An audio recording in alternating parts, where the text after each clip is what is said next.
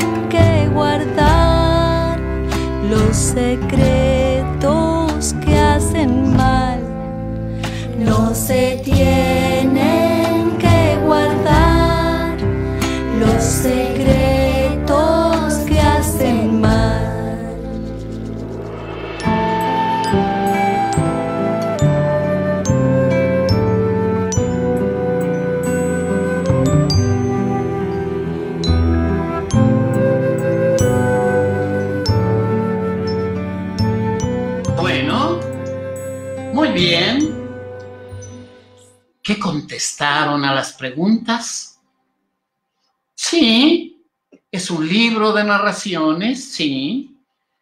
Nuestro propósito es disfrutar la lectura y también aprender, como dijo alguien, y también reflexionar sobre nuestro mundo y sobre todo estos momentos en los que esta situación nos lleva a pensar más. Fernanda nos llevará, sí, también, mm, Fernanda es una niña quizá, y que nos va a llevar por lugares que no conocemos, que no sabíamos, secretos, como dice. Y también alguien dijo, un secreto es como un pajarillo escondido en nuestro corazón que quiere salir. Ricardo Chávez, el autor nos dice en la primera introducción. Fíjense bien, primera, ¿eh? Ya veremos por qué esto de primera. Bueno, veamos. Comencemos con el libro.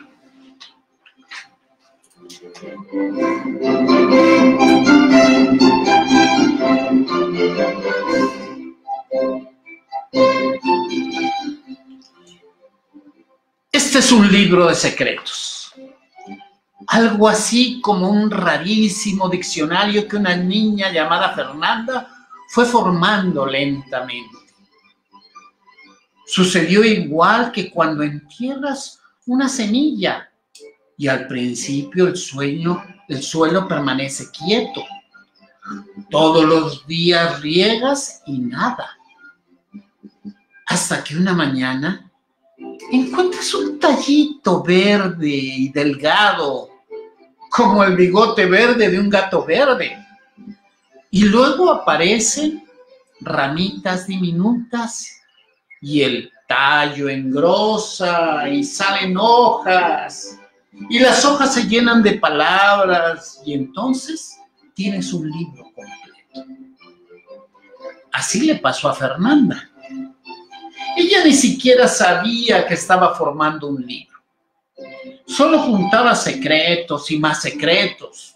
Los coleccionaba como otras niñas reúnen muñecas u otros niños apilan estampas. Ahora sabe que siempre sucede así. Tantos secretos se vuelven como una familia que acaba necesitando un sitio para vivir. Algo parecido a una casa con grandes puertas y grandes ventanas.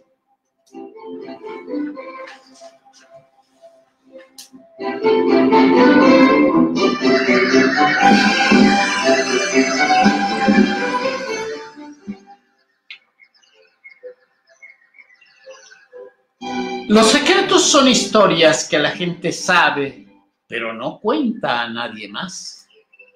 Son también las palabras que se murmuran al oído.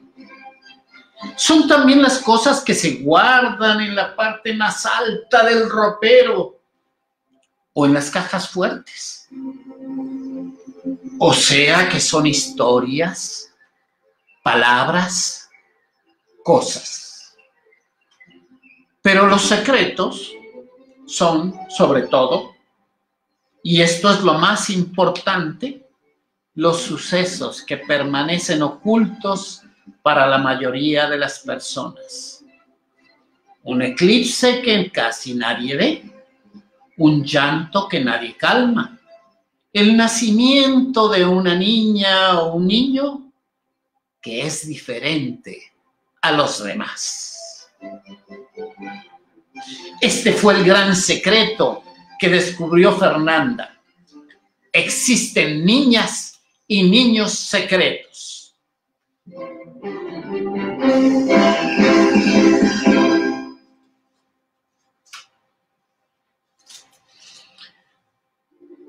Lo más importante que debe saberse en este libro es que el secreto de cada niño secreto lo puso a vivir en un mundo distinto.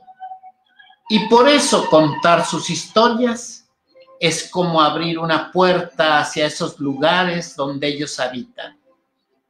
Fernanda cree que solo así podemos ver lo que ellos ven, como si viajáramos por tierras inconcebibles como si nos aventuráramos por tierras y reinos desconocidos. Es la única manera para entender lo que significa ser diferente. Es muy fácil saber lo cerca que estamos de la diferencia.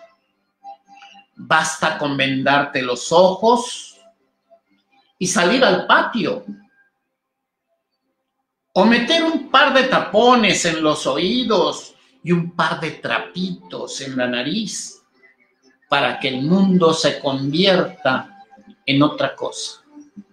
Un mundo sin imágenes, o un mundo sin sonido, o un mundo sin olor.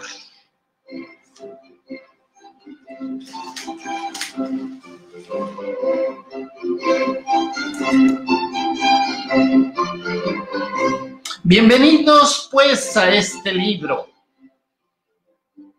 porque aquí lo que verás nunca lo has visto y necesitas caminarlo con los pies descalzos y los ojos como nuevos, y una risa nueva que no tenga ni espinas ni el filo de los cuchillos, una risa como puente, porque los puentes son para eso, para ir y venir sobre los abismos y arribar sano y salvo, sanando y salvando al otro lado.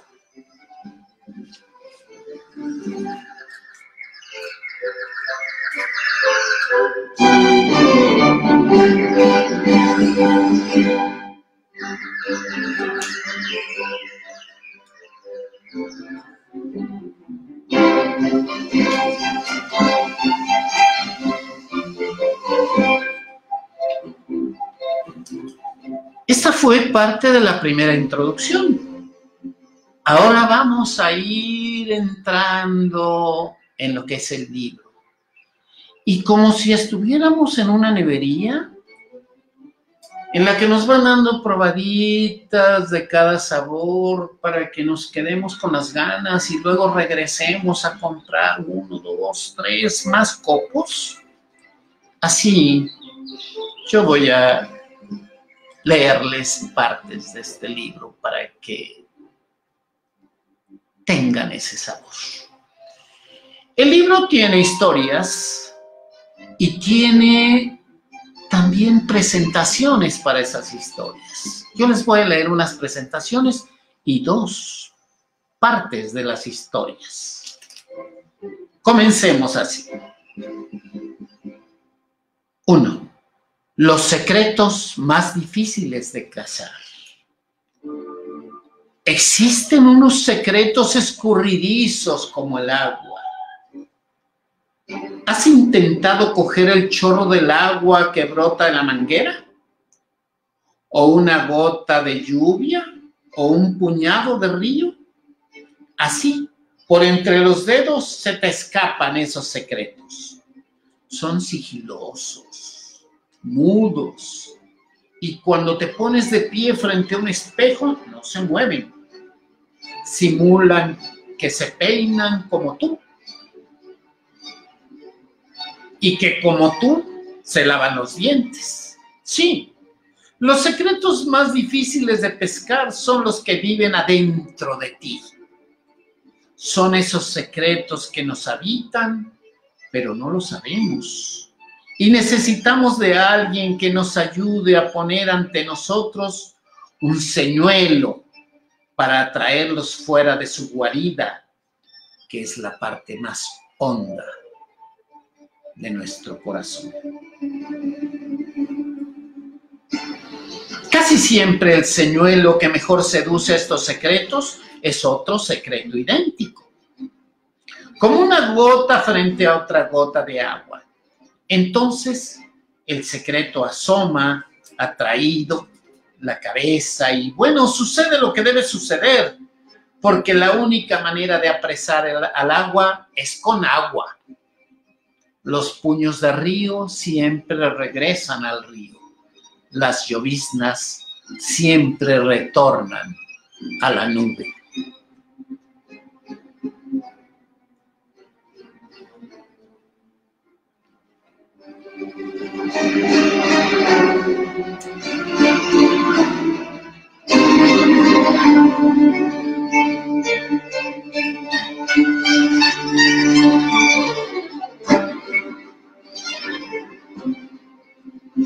Y vamos con la primera historia. Tiene un título verdaderamente eh, apetitoso. La niña que tenía el mar adentro. Hubo una vez una niña que se caía mucho. Era como si el suelo se hubiera enamorado de ella y siempre la jalara hacia sí. Estaba de pie, de pie, de pie, y de pronto, de pronto estaba abajo, con la rodilla raspada y lágrimas en los ojos.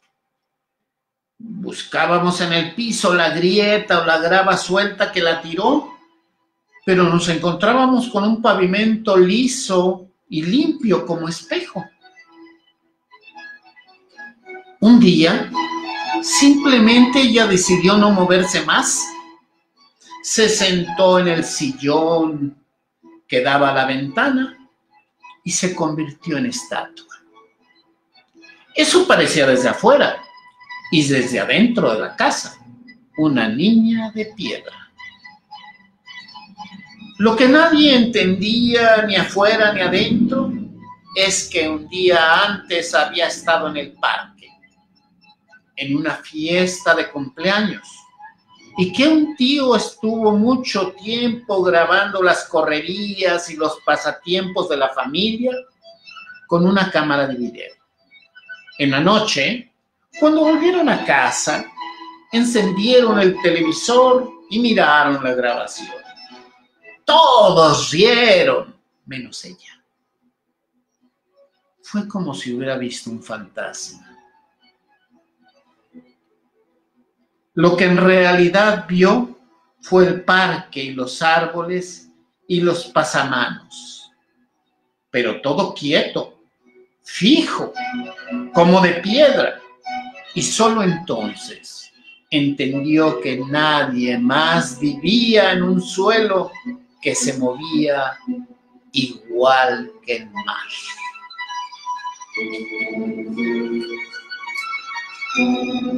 Todas las mañanas en la escuela, cuando los demás niños se formaban en el patio en posición de firmes, soldados, soldados, soldados, soldados, soldados, ella sufría ella hacía su mayor esfuerzo para no moverse en la fila. Tanto se esforzaba por permanecer quieta que la frente se le llenaba de sudor.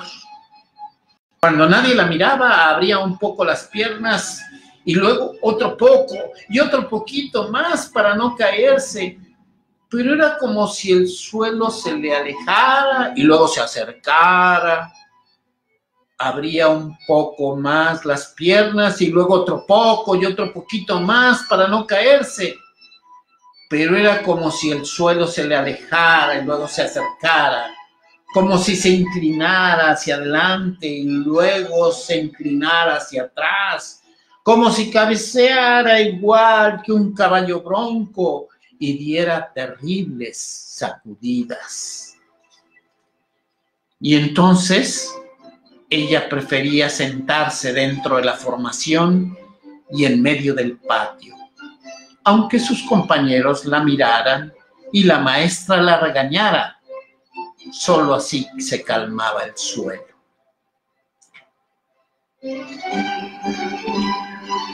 Hasta entonces no había entendido por qué nadie más se sentaba. Cuando vio la grabación de la fiesta lo descubrió todos estaban parados en un suelo que ella no conocía.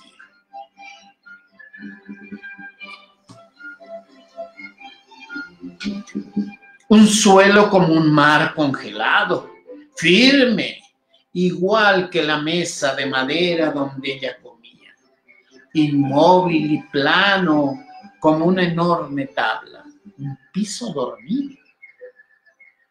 En la grabación vio que todas sus primas y sus tías estaban tranquilamente de pie, bebiendo chocolate y comiendo pastel.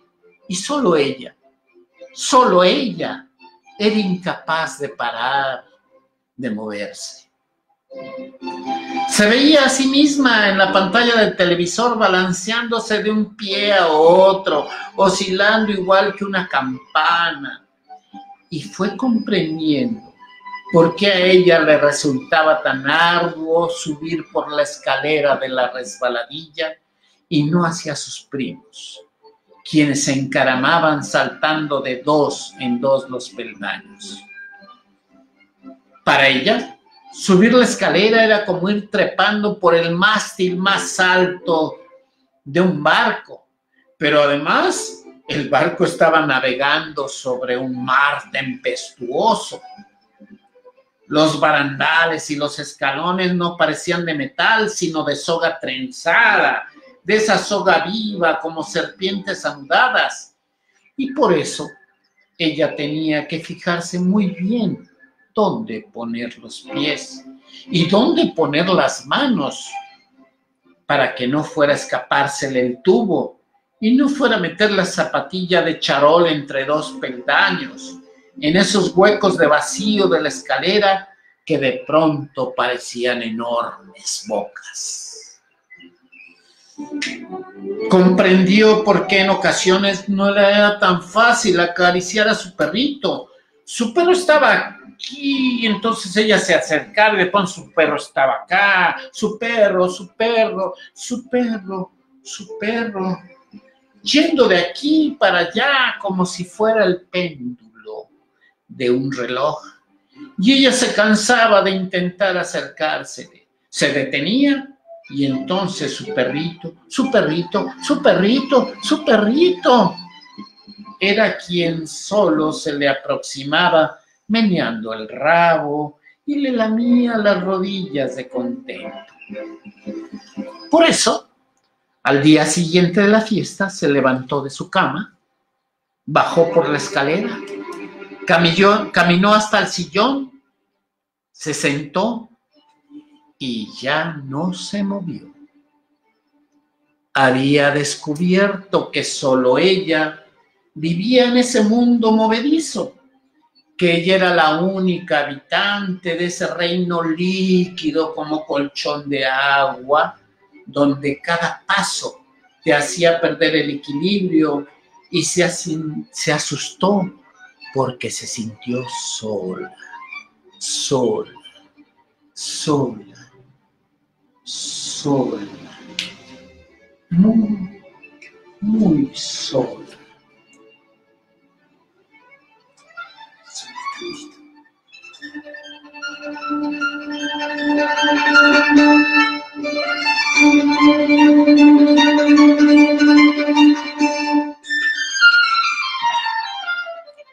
Transcurrieron tres días así. Ella hablaba y comía y a veces sonreía con las bromas de su padre y con las cosquillas que le hacía su madre.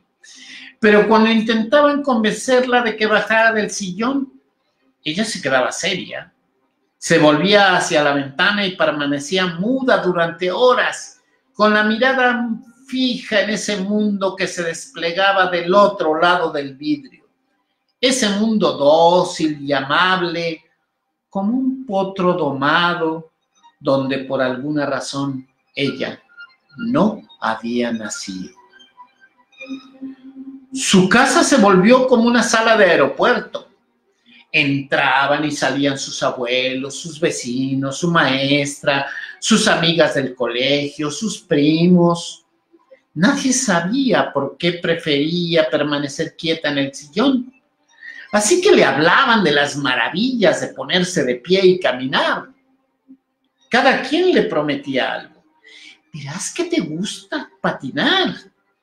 Vamos a llevar las bicicletas a la parte más alta del monte y desde allí bajaremos como bólidos. Y trajeron una resbaladilla nueva y es de muchos colores y llega casi hasta el cielo. Y cuando te avientas, das vueltas y vueltas como si te deslizaras adentro de un caracol.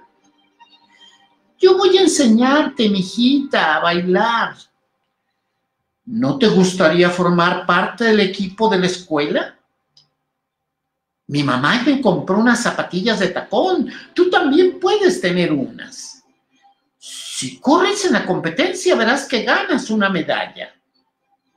Ella los escuchaba, asentía amablemente, pero continuaba quieta en el sillón. Al tercer día, a la hora del atardecer, tocaron de nuevo la puerta. El papá fue a abrir. Sin embargo, en esta ocasión no se encontró ni con un tío, ni con un amigo de su hija, ni con una alumna de la escuela. era un anciano blanco quien estaba en la entrada de la casa. Blanco era su pelo, blancas sus cejas, blancos los pelillos que le asomaban por las aletas de la nariz, blancos los pocos dientes que le quedaban en la boca. Pero entre todo ese blanco de su cara había algo de otro color, de un rojo chillante, como el grito de una sandía, y era, el armazón de sus anteojos. Con su permiso, dijo, y cruzó frente al padre, quien permaneció boquiabierto. Buenas noches, murmuró ya en la sala y se inclinó ante la madre, quien también abrió la boca, pero no pudo articular palabra. He llegado, ya no tienes que preocuparte, le susurró a la niña, que continuaba rígida como una estatua y bajando aún más la voz le secreteó al oído. Yo sé que no quieres bajarte de ese sillón para no despertar al suelo. Entonces fue la niña que abrió la boca y ya no la cerró por muchos minutos. Yo sé que por eso elegiste sentarte ante la ventana y sé también que por eso te gusta mirar la televisión. Así puedes acercarte al mundo sin tocarlo con los pies. ¿No es cierto? Y también por eso mismo te sientes feliz en una alberca es como si flotaras en el aire y entonces no tienes que preocuparte por sufrir una caída.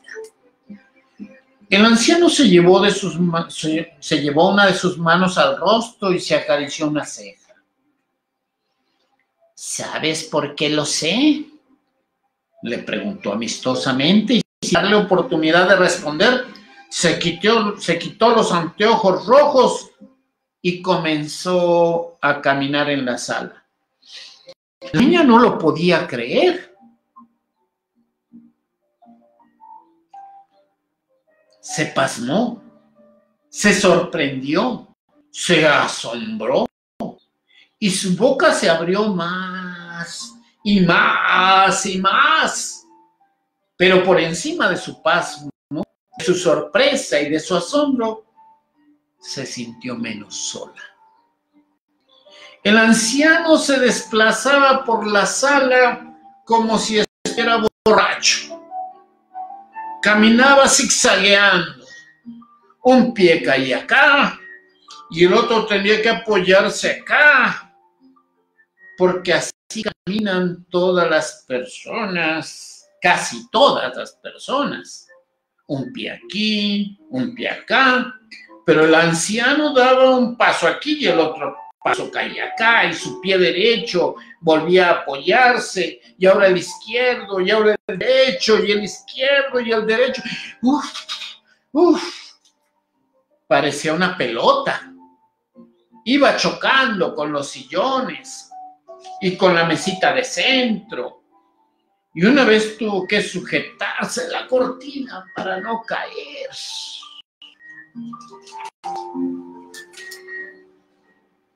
Cuando yo camino, comenzó a decir el anciano con voz jadeante y con un dejo de miedo, es como si subieran dos zancos larguísimos que de pronto se acortan y se hacen gruesos como troncos de árbol y luego angostos como palillos. Nunca cesan de cambiar varían en forma, en ángulo, en posición y a veces se doblan. El anciano cayó en el sofá. Permaneció silencioso unos segundos, asido a los antebrazos, reponiéndose del susto y después se dirigió al padre. Ahora, jovencito, hágame llegar mis gafas. El papá caminó vacilante hacia, hasta donde estaba su hija, tomó los extraños lentes rojos que habían quedado sobre un cojín y se los llevó al anciano. Gracias, jovencito, murmuró éste al recibirlos y de inmediato se los puso. La mamá y el papá cerraron los ojos cuando el anciano se levantó y se dispuso a caminar de nuevo. Pero esta vez, el anciano puso un pie aquí y el otro acá, aquí el izquierdo, aquí el derecho, y atravesó la sala sin tocar, sin chocar con nada. Llegó junto a la niña, le acarició el pelo y con su mano izquierda, como si fuera a cubrirle los ojos, midió el tamaño de su cabeza. Yo también tengo el mar adentro, le murmuró al oído.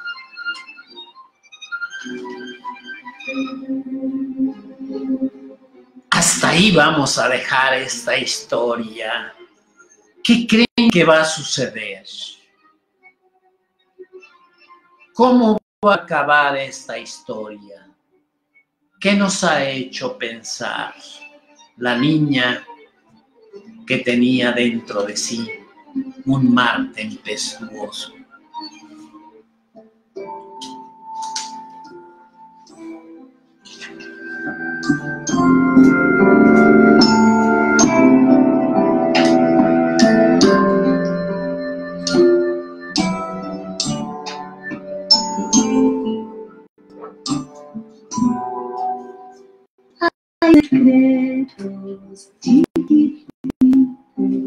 Que te invitan a jugar.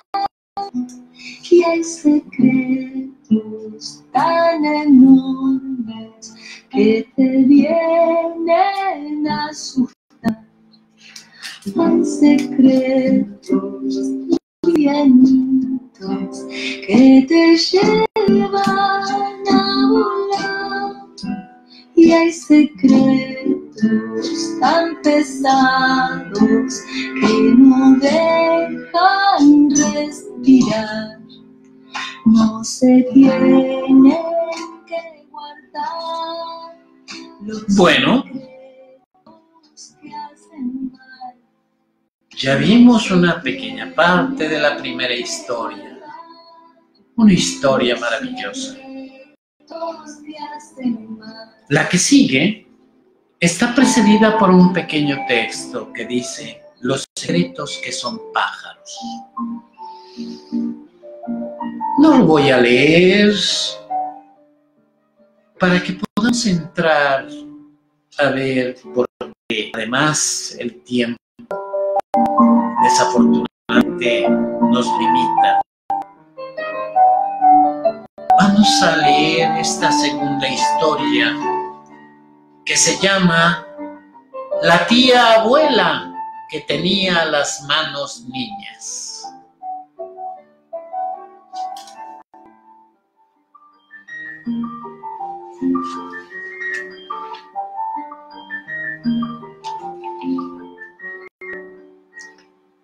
El cumpleaños habría que celebrar bien a los festejados, abrazar todas las partes de su cuerpo, porque siempre cumplen años al mismo tiempo, las manos y las piernas, la cabeza y los pies. Deberíamos darle un pastel a cada dedo y a cada rodilla, a cada ceja y a cada tobillo, y todos los pasteles tendrían que estar corona- coronados por el mismo número de velas. 67, por ejemplo. 67 velas para la nariz. 67 velas para la espalda. 67. Bueno, no siempre. Aquello comenzó en una fiesta. La festejada era, era una mujer de 60 años, mi tía abuela, que llevaba 60 años paralítica y 60 años ciega. O sea que cuando ella nació, nació también su ceguera.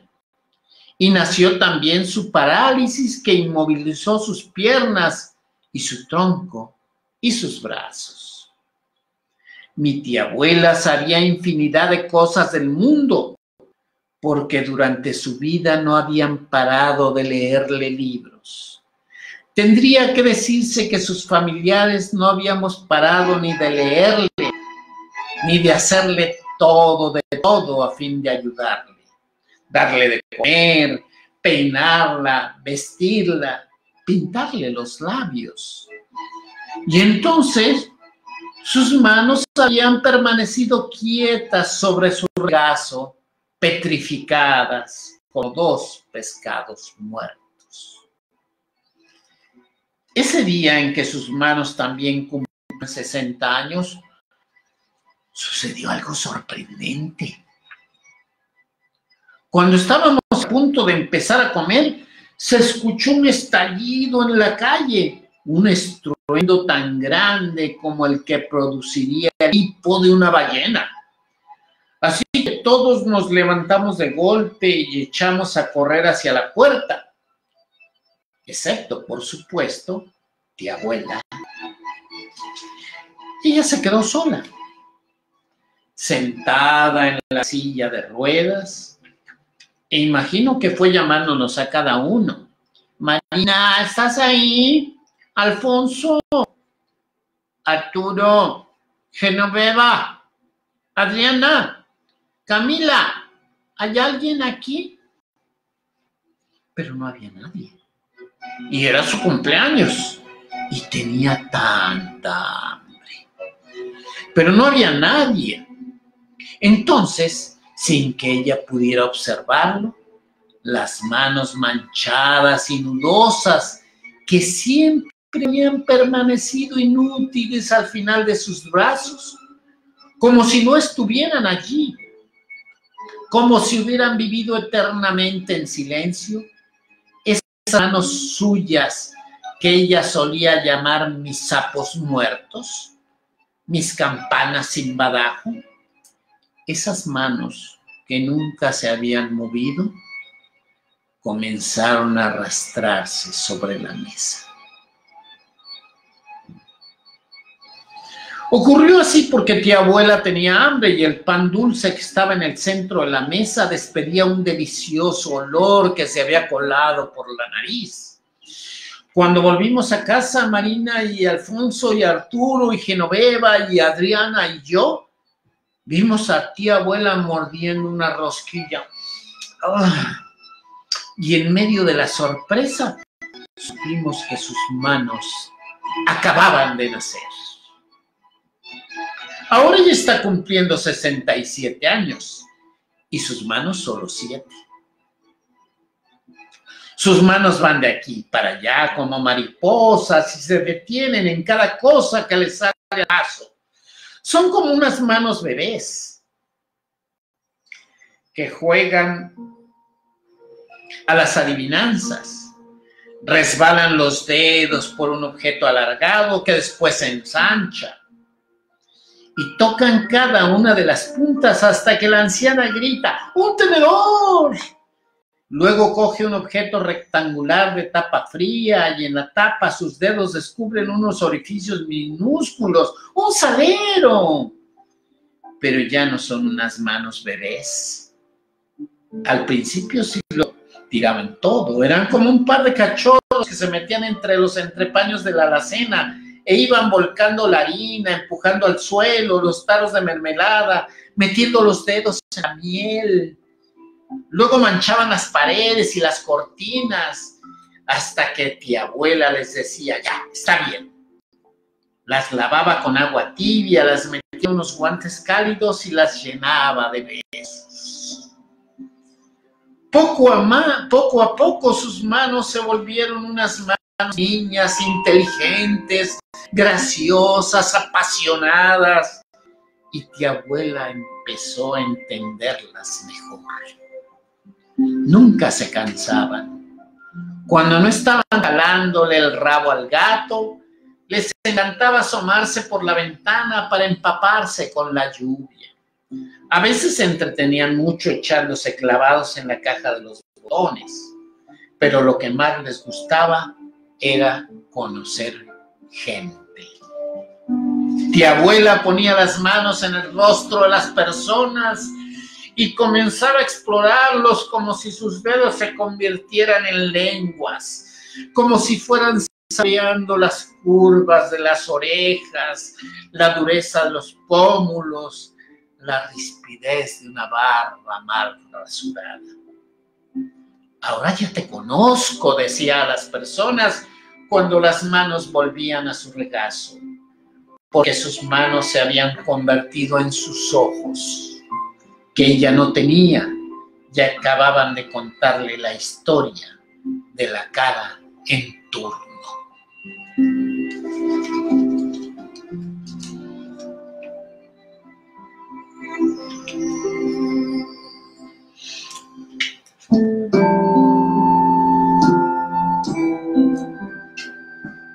Yo quería contarles, leerles de historia completa, pero creo que va a ser mejor dejarla ahí.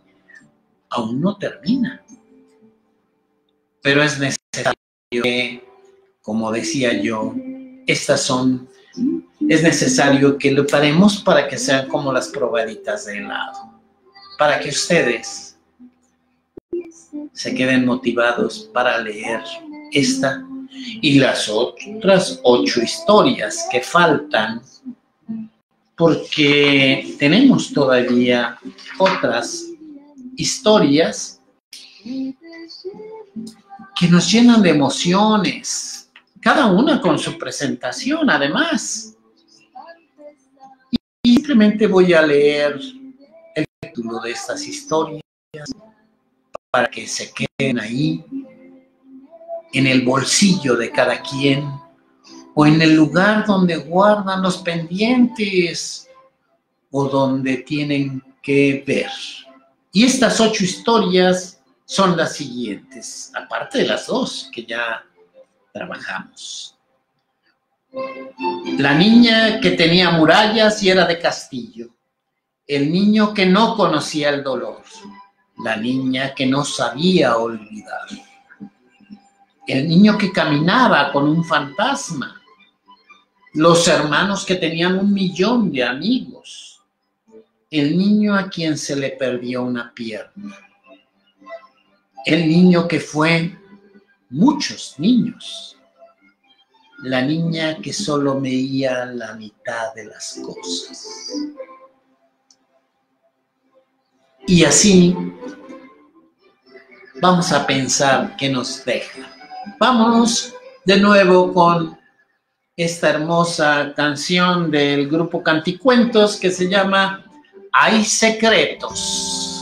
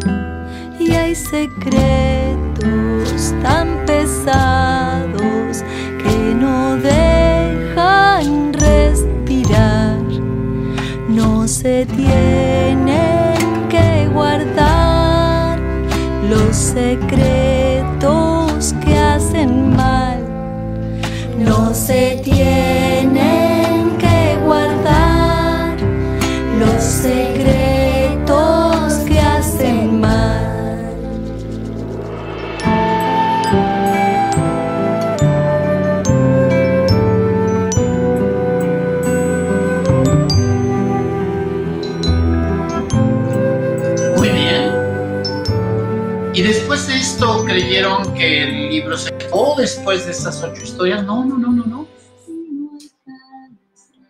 Ricardo Chávez, el autor, Nos sorprende porque nos dice que hasta aquí, hasta las 10 días, ha terminado la mitad del libro. ¿Sí? Es el medio libro, porque de aquí en adelante toca a cada uno de los que leemos hacer la otra mitad del libro con nuestros secretos a partir de lo que hemos visto. Decía yo, cuentos, historias que nos emocionan, que nos hacen pensar, que nos hacen ver la diferencia a los diferentes, a los otros. Y en todo eso, encontrar nuestras propias diferencias. Quiero agradecerles infinitamente el que me hayan permitido llegar hasta sus casas, el que me hayan permitido compartir con ustedes la emoción de un libro y no despedirme, sino decirles, nos aquí en este espacio eh, compartiendo con otros compañeros, niños, niñas, maestros, todos tienen aquí un espacio también. Tienen un espacio para leer, para compartir sus experiencias. No adiós, sino hasta pronto. Y no olviden, quédense en casa, cuídense, cuidémonos todos, porque los necesitamos. Gracias y un saludo.